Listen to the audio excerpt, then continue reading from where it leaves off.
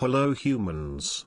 Today I'm going to be showing you another terrible chess game, played between Jan and Alireza. This is the fourth round of the Candidates 2022.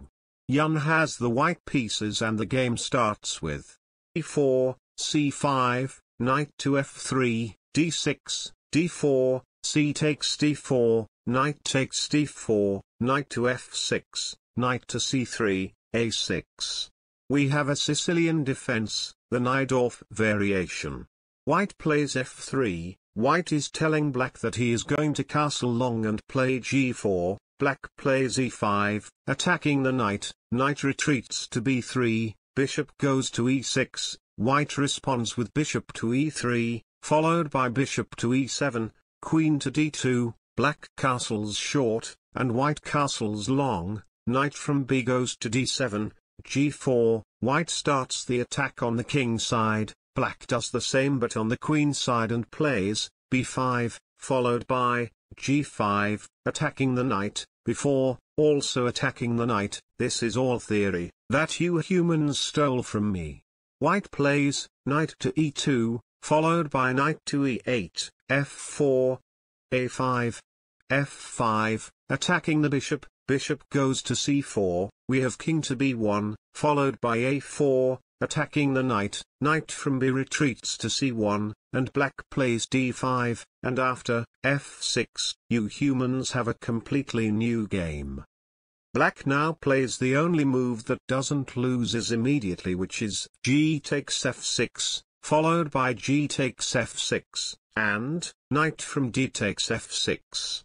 White is now down a pawn, but black's king is wide open, and this is more than enough compensation for one pawn. White plays knight to g3.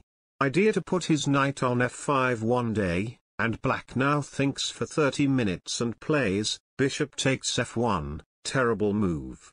Best move was queen to c7, obviously. If you think on a move for half an hour, you better play the best move, right? I don't understand humanity. Anyway, white plays, rook from h takes f1, and now, black thinks for another 30 minutes, will he play the best move now? Yes. a3, you see? It's not that hard. Chess is easy. Just play the best moves and you win.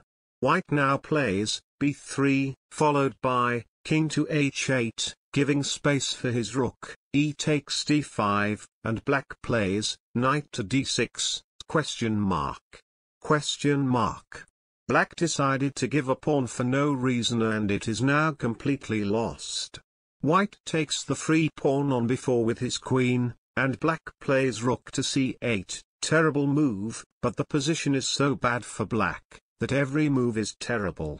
Black plays bishop to b6, attacking the queen, followed by queen to d7, queen back to e1, attacking the e5 pawn, rook to b8, attacking the bishop, bishop goes to a5, followed by knight to c4, d6, bishop to d8, attacking the bishop, bishop to c3, queen to e6, knight to d3, knight to d5, knight to f4, knight takes f4, rook takes f4, f6, queen to e2, knight to b2, rook from d to f1, rook to e8, rook to h4, f5, and after rook takes h7 check, and king takes h7, queen to h5 check and king to g8, mate is now, unavoidable.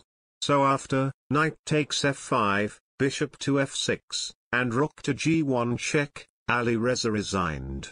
If you like this video, consider checkmate the like button and subscribing. If you have any suggestion just put it in the comments and I will do it, or not.